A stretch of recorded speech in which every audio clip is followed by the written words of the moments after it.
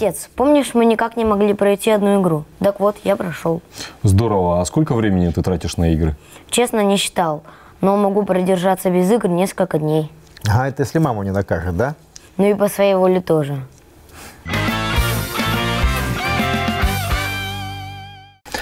Недавно немецкие ученые в результате эксперимента выяснили, что реакция молодых людей на любимые компьютерные игры похожа на ту, что проявляют наркоманы и алкоголики. Другое же исследование показало, дети, которые играли в видеоигры не более одного часа в день, а больше других были удовлетворены жизнью и отношениями со сверстниками. О виртуальных мирах и увлечениях, ставших для многих смыслом жизни, поговорим сегодня на экспертном совете. В обсуждении мне помогут Слатин. Занимается дизайном, полиграфией и наружной рекламой. Несколько дней лидировал в одном одном из конкурсов крупнейшей онлайн-игре World of Tanks в студии вместе с сыном. А также Александр Ипанчинцев, 41 год, директор студии настольных игр «Мастер. Двое детей». Среди моих экспертов Дмитрий Владимирович Четверяков, доктор психологических наук, заведующий психотерапевтическим отделением областной психиатрической больницы. В моей команде Кирилл Слатин, ученик пятого класса, в игры играет вместе с папой. И Любовь Сарычева, ученица 10 класса гимназии номер 115. Зависимость от видеоигр во всем мире пока не признана официально болезнью, но игроманов уже лечат. Программы реабилитации работают, например, в Великобритании, Южной Корее, Китае и Вьетнаме. Есть ли жизнь вне матрицы? Этим вопросом задался Александр Зайков. Тук-тук, Нео.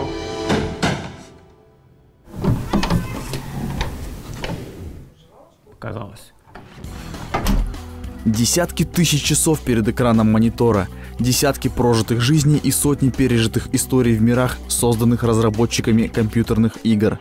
Путешествия в иной реальности, что находится по ту сторону монитора, стали для Дмитрия Баранова любимым хобби – мне было лет 8, наверное. Мы тогда к товарищу пришел в гости, у него стоял комп. Тогда еще не было ни пентиумов, ничего, по-моему, был IBM 286. Вот мы с ним сидели, играли в «Принца Персию» или что-то такое. С тех пор прошло больше 20 лет, но страсть к видеоиграм у Дмитрия не угасает. В сравнении с 90-ми производительность ЭВМ стала несравненно выше, а специализированные игровые девайсы теперь есть у каждого геймера – в это же время сами игры все чаще являются исключительно мультиплеерными проектами. Однако реальный мир вокруг Дмитрия также претерпел значительные изменения. В нем появились кошка, собственная квартира, но главное, несомненно, любящая жена. К увлечению мужа Александр относится спокойно, даже порой играет сама – я предпочитаю классические старые РПГ. Я не очень люблю играть с другими людьми, я предпочитаю играть сама в одного, потому что мне легче, то есть э, пойти туда, куда я хочу, пройти там, раскрыть всю карту, а не сразу же выполнять э, основной квест и там продвигаться дальше. Какую же роль играют видеоигры в жизни современного человека? Предмет зависимости, обыкновенное хобби, способ заработка или же нечто иное? Во-первых, там уже просто расслабиться отойти вот от всей суеты, там, таких там мелочей бытовых или там еще чего-нибудь, почувствовать себя кем-то другим, возможно. Во многих играх как бы основой является именно сюжет. И во многих играх он не хуже, чем, чем в книгах. Бывает даже лучше. Поэтому это придает им особый, особый интерес. В современном мире стресс – обыденность, а игры могут быть необходимой психологической разгрузкой. Подобно литературе, они могут учить и наполнять жизнь красками – Главное относиться к ним с умом и не впадать в крайности. Добавлю, что, например, в Китае и Южной Корее часто случается, когда геймеры прямо в салонах умирают от истощения. И в одной из э, сетевых игр э, даже появилась виртуальная процедура похорон участников. Что происходит? Границы между мирами стираются? Ну, сразу определимся с тем, что, э, как культурологическая мысль утверждает, игра лежит в основе человеческой цивилизации. Это если дарвинистски человечество трактовать. И с этим как бы ничего не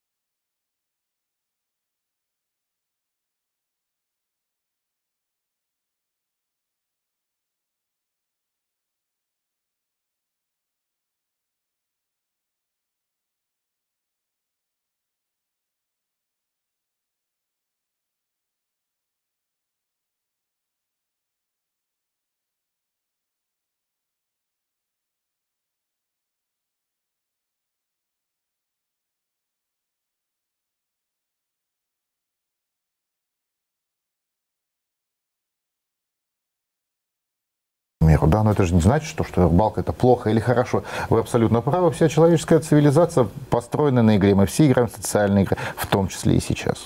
Я бы хотел вот на чем остановиться. Герой там произнес такую фразу, вот я там был воспитан 286 компьютер, игра «Принц Ну, Персии». А для нас это тоже было актуально, то есть наш, нашу жизнь компьютеры, скажем, пришли как элемент информатики. А сегодня в школах это чаще все-таки как игровая какая-то вещь. Русификации никакой не было. То есть, соответственно, приходилось волей-неволей там английский как-то больше изучать. То есть сейчас, конечно, ну, все преподносится уже в готовом виде. Только потребляй. А тебя не пугает, что сын, допустим, там будет больше потреблять, чем ты? Вот если мы взрослые люди, мы как бы можем ограничить свое время свободное, которое на компьютере тратить, Ну, а дети нет. Пытаюсь некой разумности это привить. Нет, ну вот мы-то старшие еще как бы знаем классические игры, а они-то их уже не знают. Для них игра – это в первую очередь компьютерная игра. Вот, насколько я понимаю, Александр занимается а, этой проблемой. Да. Классические игры-то еще остались или они уже вытеснены? Могут ли конкурировать они как-то? В этом сюжете показали молодого человека, ну, как сказать, молодого, ему с- на вид лет 30. Ну, под 30 ему, под да, 30, 30 ему, да. То есть я здесь вообще проблемы не вижу. Здесь я проблемы не вижу. Человек самостоятельный, человек добился всего в жизни. И это не проблема, как он отдыхает и что он делает. Здесь, если проблема э, игромания, я вообще не хочу ругать. Компьютеры, игры вообще придуманы в помощь человеку. Человек быстрее осваивает компьютер, э, программы какие-то, быстрее учится работать, да? Это все в помощь было придумано человеку. Все игры, если так к этому подходить. Дальше я не заглядываю. Единственное, что игры, как э, игра сама в компьютере, как я вижу эту проблему, она иллюзия. Иллюзия э, сама по себе игра, она не дает такого эффекта роста человеку, как может быть дать та же игра любая, ну, в шахматы, к примеру, да, увлечение чем-то. ну, Физически спортом. ощущаемое, да? Да, физически. Это может быть бокс, это может быть э, дзюдо, это может быть э, ну, как- какое-то занятие. То есть, э, если компьютерные игры это занятие, увлечение, тратишь ку- кучу времени на это дело, но ты живешь в своем мире, создаешь свой мир, этот иллюзорный, и выйдя на улицу, ты попадаешь в совершенно другой мир. Совершенно другой мир, и ты социально не подготовлен. Хорошо, взрослый человек, он подготовлен, ребенок остается без защиты. То есть, и, и очень важно, чтобы с детства у них была альтернатива. Альтернатива.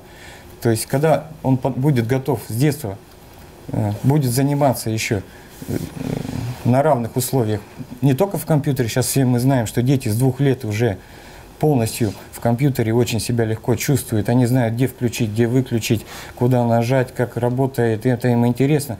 И в это вложено очень много денег в игры, чтобы это было действительно так легко, просто и интересно, чтобы человека привлечь в это дело и на этом зарабатывать. Но эм, насчет социальной э, адаптации ребенка, эти игры, я считаю, что мало уделяют внимания. И чтобы его подготовить, проще всего, чтобы он еще знал бы и шахматы, да, знал бы и волейбол, баскетбол, футбол. И если он в чем-то в себя еще в другом фи- физическом таком проявит дополнительно, почувствует выигрыш, проигрыш не только в иллюзорном мире, но и в реальном. Сева играет и с отцом, и со мной в шахматы, да, значит, но с другой стороны, вспомни наши посещения какого-нибудь детского мира. Ты же ведь проходишь мимо стеллажей, на которых стоят игры, которые нужно там, ну, не знаю, вырезать, что-то смонтировать, поставить, в которые, наверное, еще Люба успела поиграть. Мы когда-то в детстве играли, а вы уже эти игры игнорируете настольные. Какие игры? Ну, какие Еще? там, не знаю, там картонная монополия, там, не знаю что. А зачем? Не знаю. Зачем? Здесь надо учитывать еще один важный момент. Посмотрите, э, действительно, если мы берем э, те игры принцев Персии, да, когда, которые мы когда там пытались играть, в детстве кто-то играл, кто-то нет, в юности, э, они были очень скудные в плане сенсорной э, стимуляции. Бледная картинка, слабый звук, там какие-то хрипящие наушники, и непонятно что. Сейчас все это намного более качественно, 3D, э, хорош- хороший звук и так далее. То есть мозг находится в, уси- в усилиях, в условиях так называемой гиперстимуляции. И, естественно, картонная монополия скучна. Нет, но вы же со мной как психолог, наверное, согласитесь, что классическая лото, в которое мы в детстве в семьях играли, там в литературе описано, это тоже как бы а, модуляция мозга, да, вот семейная Ну, игра с приколами, со скудна, смехом. Ну, она понятно, что скудна, скудна. понимаете. Вот мы, кстати говоря, сказ- не, не упоминаем еще об одном очень важном аспекте. Компьютерные игры очень сильно стимулируют нейрональные связи. И есть рекомендации, что пожилым людям, людям с начальными проявлениями болезни Альцгеймера прописывают Во как. Я скажу даже больше. Вот есть предложение от, э, скажем, э, поклонников одной сетевой популярной игры э, включить ее в Олимпийские игры. Логика какая? Быстрота реакции и умение соображать. И именно в этом могут посоревноваться люди на Олимпийских играх. То есть у нас 21 век наступил. Компьютерные игры официально практически стали в программе Олимпийских игр. Ну, я вот знаю такие соревнования. В клубах собираются, ну, какой-нибудь геймер-клуб. То есть ты приходишь, платишь деньги, и тебе дают, вот, выделяется компьютер, выбираешь игру и играешь там, например, час или 30 минут, смотря сколько ты заплатил. И в таких клубах проводятся соревнования. То есть, например, на флешку, это самое маленькое, потом игру тебе вручают. И чемпионский уже это процессор новый. То есть э, ты приходишь, и вы играете в какую-то игру по сети. То есть, например, в Counter-Strike. Ты выиграл его, первый раунд, то есть в этой игре у тебя плюс, в другой игре, потом в другой, и вот так. Я Люба, хочу вот это спросить, маль- мальчуковый подход или девушки тоже так подходят к Я этим тоже играм? не вижу в играх ничего плохого, потому что это все зависит от человека. Потому что если человек изначально наполнен чем-то, то у него не возникает зависимости. И также и, ну вот, кстати, вы упомянули, что дети теперь не любят, ну, настольные какие-то игры. Я скажу, что это не так. У меня у самой младший брат, он, ну вот мы с ним довольно часто играем в какие-то те же монополии, в какие-то старые, совсем старые игры, там, э, ну вот китайские древние игры. Это очень интересно, это действительно развивает мышление. Если ребенка заинтересовать, то он ну, будет с таким же удовольствием играть, э, с, э, с каким он играет в компьютерные какие-то игры. И, ну, если человек, он, допустим, увлекается, ну, не обязательно спортом там, или шахматами, это, допустим, может быть э, ну, музыкальная школа, рисование и все другое. То есть, если человек э, изначально есть какая-то у него духовность, что ли, внутренняя наполненность, то он не станет зависимым от компьютера, да. пойми.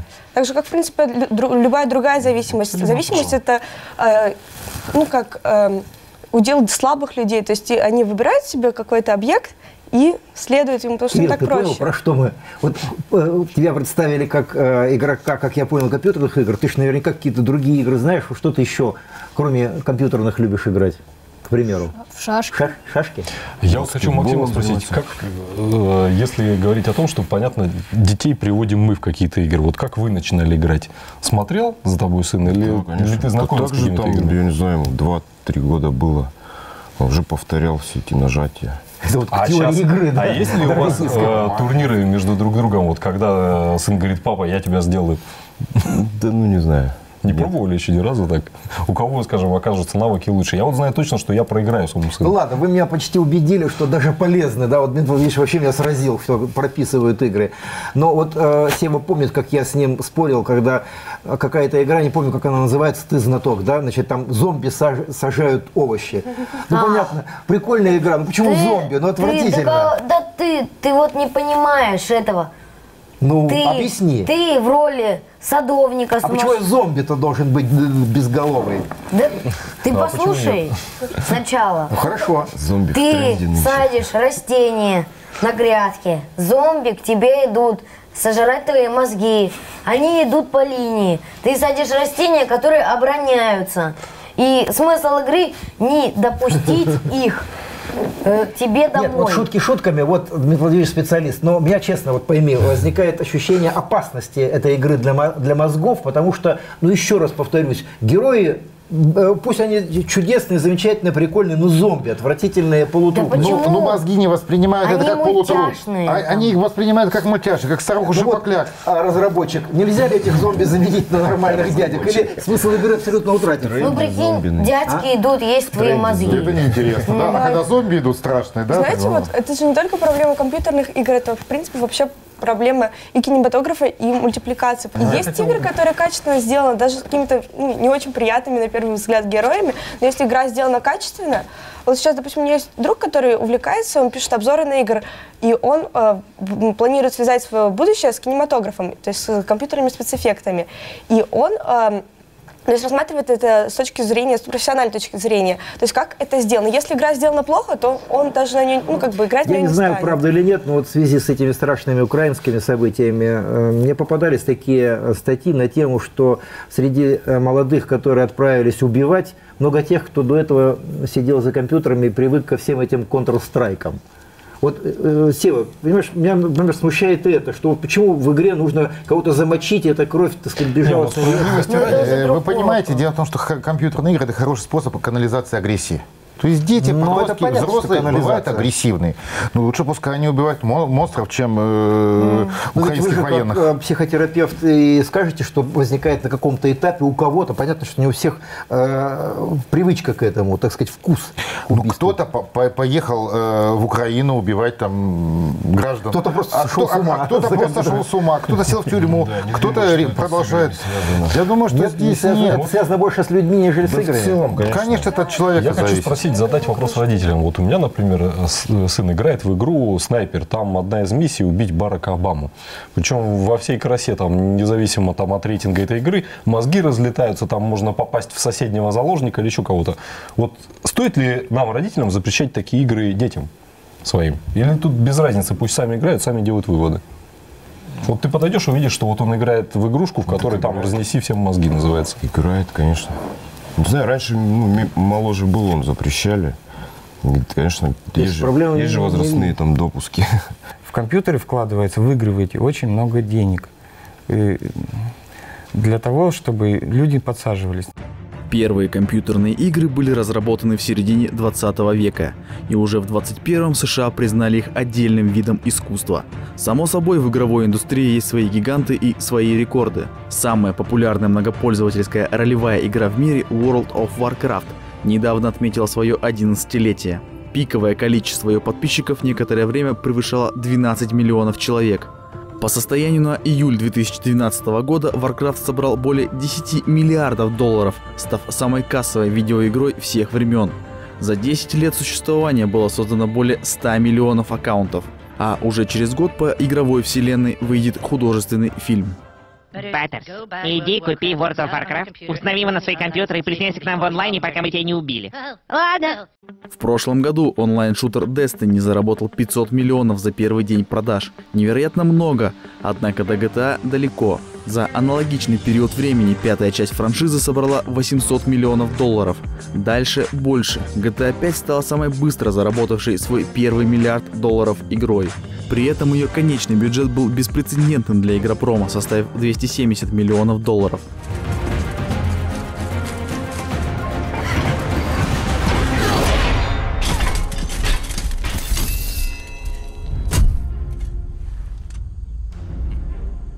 Но сейчас на пике популярности моба-игры, к примеру, Лига Легенд. По информации разработчика в октябре 2012 каждый день в LoL играло в среднем 30 миллионов человек. При этом максимальное количество игроков онлайн достигало 10 миллионов. В прошлом году США приравняли всех игроков League of Legends в мире к обычным спортсменам. Призовые фонды Лиги Легенд ошеломляют, однако и у нее есть свой конкурент. В игре Dota 2 сумма приза крупнейшего чемпионата превысила 10 миллионов долларов, обойдя тем самым практически все реальные виды спорта. Главный приз забрала китайская команда. К слову, у азиатов с киберспортом особые отношения. Победитель турнира по карточной онлайн-игре Hearthstone в Китае получает Феррари. В Южной Корее транслируются матчи по киберспортивным дисциплинам, и именно в этой стране появилась такая профессия, как прогеймер. И вот на днях Корейская ассоциация киберспорта сумела добиться в Корейском олимпийском комитете включения киберспорта в список выставочных олимпийских дисциплин. Ну, я ничего против не имею. Компьютеры, они нужны, без компьютеров никуда. Сейчас дети, я прекрасно вижу, допустим, что у меня сын прекрасно разбирается в компьютерных программах, он уже, я если где-то заказываю какой-то там баннер, еще что-то, он говорит, пап, зачем ты тратишь деньги, я могу сделать лучше. Могу сделать лучше и быстрее. Я знаю, что он не будет, допустим, работать где-то на заводе, он, может быть, с помощью компьютера будет зарабатывать в три раза больше, чем я, и это нормально. То есть молодежь, я вижу, что она зарабатывает на компьютерах. Бывают же игры, которые, они развивающие, они вот, допустим, э, какие-то вот, э, ну, с, э, которые создают альтернативную реальность, они направлены на, как тоже на, на развитие логического мышления. То есть тебе нужно построить план твоих действий, там, чтобы куда-то дойти, чтобы там что-то достигнуть какой-то цели определенной.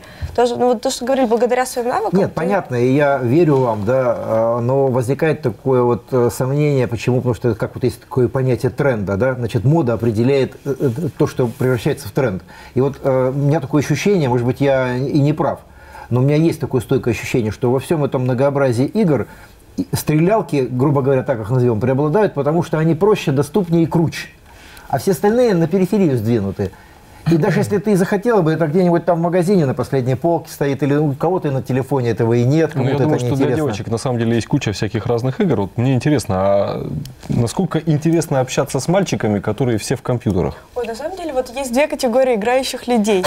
Есть люди, которые полностью увлечены вот эти, ну вот, играми, и не только играми, а вообще интернетом. То есть и какие-то компьютеры, то есть, и, допустим, человек, даже если шутит, ну, если даже что-нибудь пытается шутить, то он все равно шутит какими-то интернетными фразами, что вообще неинтересно. А есть люди, совершенно полноценные люди, которые занимаются, там, допустим, театром, музыкой, э, рисованием и все другое, и при этом просто вечером они играют. И, допустим, они могут даже мне посоветовать, и мне ну, интересно станет, э, станет их рассказ про какую-то игру. То есть я в этом ничего плохого не вижу. Если человек всесторонне развит, то с ним интересно. А есть у вас такие, которые вас могут обыграть среди знакомых? О, девочки не играют в такие игры, в которые играют мальчики. Точно ты У уверен? девочек, у девочек, там, например, я знаю игру, то есть э, провести колечко, ну, это игра на ловкость, тут ниточка и колечко, и колечко падает, а ты нажимаешь на экран, и оно летит.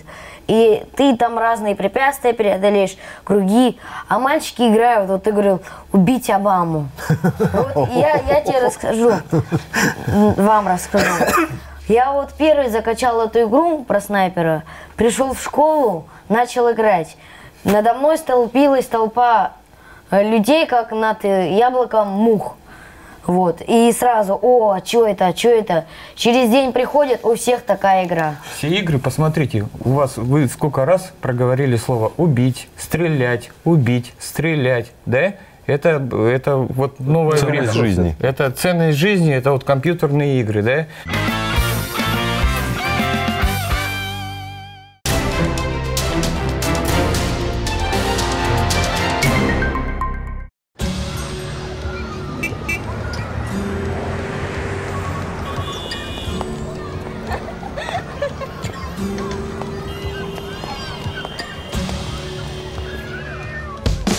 Неважно, какой у вас бизнес, неважно, сколько у вас денег. Продвижение – уникальное предложение. Качественный рекламный ролик за 1 рубль. Подробности на 1рубль.тв.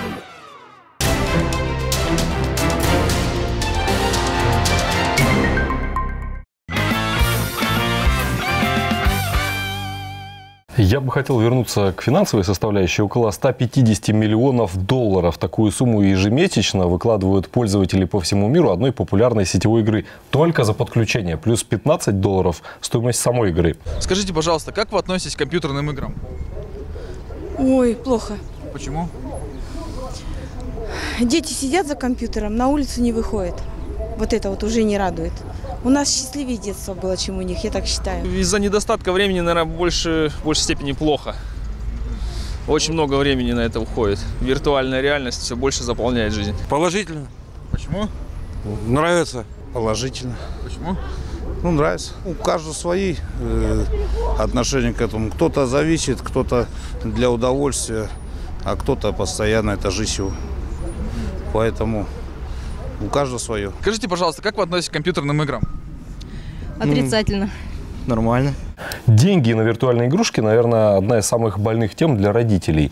Э, Затраты почти сопоставимые с эксплуатацией автомобиля. Я, конечно, шучу, но все равно. А учитывая, что, например, технические средства постоянно улучшаются, модернизируются, игры требуют большего какого-то, скажем, оснащения, да, компьютеров и всего остального.